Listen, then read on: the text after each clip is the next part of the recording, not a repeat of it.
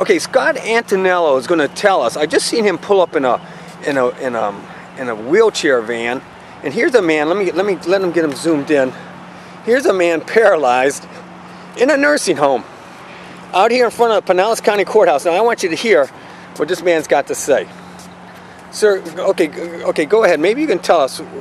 Speak loud enough so the camera can pick it up. Well, I was notified Friday that I have a court appearance Pinellas County Courthouse. And I asked them for what? They said they didn't know. I said, well, I haven't been arrested and I haven't been charged and I have no paperwork saying I'm supposed to be here.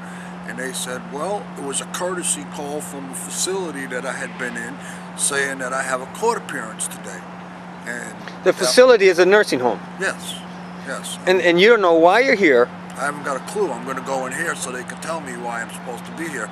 But I didn't want to not show up in case it was true. Then they'll issue a bench warrant for me. Right. And then they'll come take me right out of my nursing home. Take you out of your nursing home. So, you know, I thought it'd be in my best interest to spend the twenty dollars in a cab. In the That was twenty dollars for that taxi cab, yeah, just to get here to find out why I'm supposed to be here. So, just to find out why you're supposed to be here. Now this here is the Pinellas County court system. Here's a man paralyzed. The guy can't even get out of his wheelchair. I mean, he's he's he's he's he's in a nursing home, bedridden, and he has to get in an electric wheelchair to get to the to get to the court system, and he don't even know why. He doesn't have any paperwork.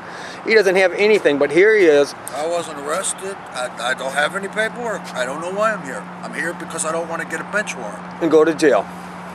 And it's unbelievable what they're doing. And that's what he said is I'm out here talk, talking about the corruption. This man says, You're right. I mean, I'm out here preaching and he says, You're right.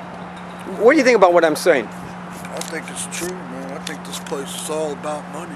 That's all it is. Everyone will tell you the same thing. They'll tell you it's organized crime to the worst degree. But it's legalized organized crime. Legalized organized crime. That's right. Right. It's legalized by man, but not by God. Yeah. We, we got to get back. these are the people that will put you in the jail when you say, "Well, I didn't do nothing," Right. and then even if you didn't do nothing, you got to get the public defenders Right. and then the court fees. So even if you didn't do nothing, you're still gonna pay. Right. So, Exactly. so it seems, yeah, it seems, I, I, I'd rather be back in New York with the guys beating you in the head for the money and saying, "Yo, you owe us money. I want my money." At least that way you know you owe them money. this way they're just legalizedly doing it, and then if you don't pay them, they put you in their jail, and they're gonna make money that way anyway. Right. Either way, they Either got you. way, they're gonna get your money. Sir, I want to thank you very much for having the boldness to speak up, Man, no problem. I'm gonna go in here and find out why I'm supposed to be here. Well, maybe you can come out and tell me. Yeah. All right.